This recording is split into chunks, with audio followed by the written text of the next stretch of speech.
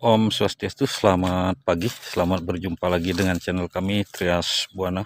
Kali ini kami sampai pada tahap penggemburan dan pemupukan tanaman durian muda atau durian kecil. Setelah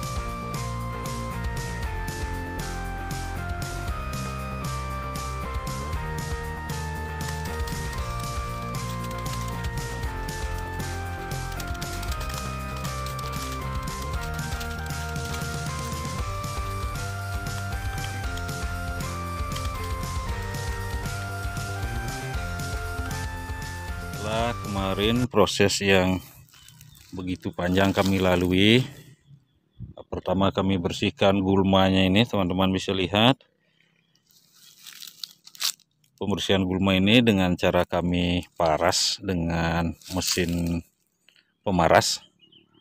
Setelah berapa minggu kemudian, begitu rumput tumbuh kembali dan tali hutan semacam ini, teman-teman kami balas dengan penyemprotan.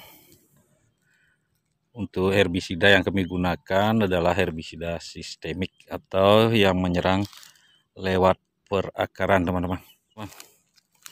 Di sini teman-teman bisa lihat daun durian ini sedikit menguning. Bila kami bandingkan dengan uh, daun-daun durian di sekitarnya ataupun pohon-pohon sekitarnya Ah, mungkin saja ini kekurangan nitrogen ataupun karena di sini jalurnya di puncak teman-teman. Mungkin ini kena jalur kering semacam ini.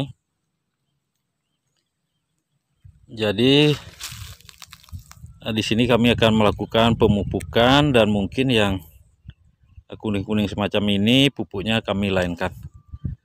Kami akan menggunakan nitrogen dosis sedang teman-teman jadi ikuti video kami sampai selesai agar teman-teman ya, teman-teman tidak gagal Pak. Kami sudah melakukan penggemuran, tujuannya penggemuran tadi agar pupuk nanti yang kita berikan lebih gampang diserap oleh akar uh, durian kecil ini teman-teman. Di samping melakukan penggemburan sebelum pemupukan kami juga sekaligus tadi membersihkan gulma yang tumbuh di sekitar perakaran. Jadi ketika diberikan nutrisi nanti eh, tidak direbut oleh gulma itu sendiri. Jadi sebelum melakukan pemupukan tanaman yang akan kita pupuk kita bersihkan dulu gulmanya.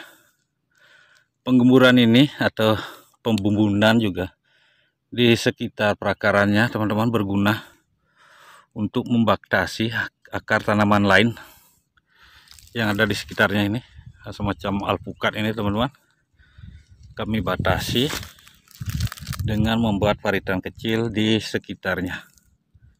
Sekeliling ini teman-teman. Jadi nanti dia tidak bersaing eh, melawan tanaman yang sudah besar di samping-sampingnya ini teman-teman. Jadi karena tanahnya ini kami rasa sedikit kering pemupukan kami lakukan dengan sistem kocor. Kita langsung cari pupuknya teman-teman kami melakukan pemupukan sistem kocor teman-teman. Tentu kami memerlukan air sebagai media pelarutnya. Ini air kurang lebih 5 liter teman-teman untuk satu pohon durian tadi. Dan akan kami tambahkan pupuk sebanyak satu genggam. Ini dia pupuknya teman-teman. Satu genggam ini kurang lebih 2 sampai 3 sendok makan.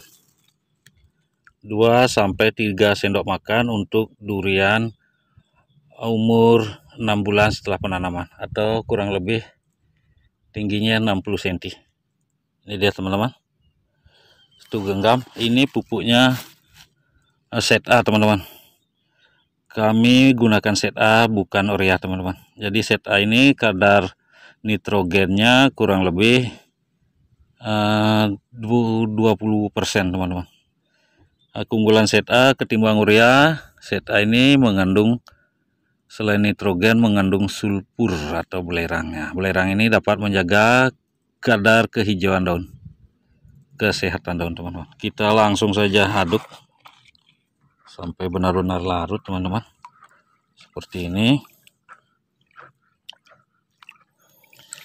urea biasanya kadar nitrogennya kalau buatan pusri sekitar 40% teman-teman. Bagi kami ketinggian sih. Nah, kita aduk. Semacam ini. Dan kami akan siram di sekitar perakarannya. Dosis satu genggam ini untuk satu pohon. Walaupun kena pohon dia tetap aman teman-teman jadi tentu teman-teman bertanya karena medan kami miring di pegunungan. Tidak semua uh, mungkin perlu kami kocor semacam ini teman-teman. Mungkin saja nanti yang di bawah-bawah sana kami akan tugal ataupun benamkan teman-teman karena ini pas di puncak dekat dengan air kami lakukan sistem kocor agar pupuknya lebih cepat diserap kita siram saja langsung di perakaran semacam ini teman-teman.